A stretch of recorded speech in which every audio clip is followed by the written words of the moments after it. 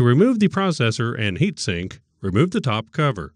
Press the release button and then lift up on the cover latch. Lift the top cover straight up to remove it from the chassis. Disconnect the RAID supercapacitor module cable.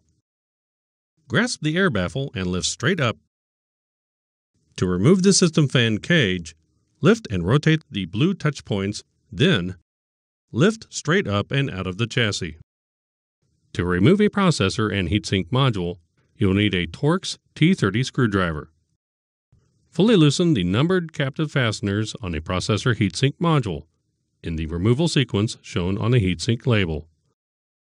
Loosen fastener number 4, then 3, 2, and then 1.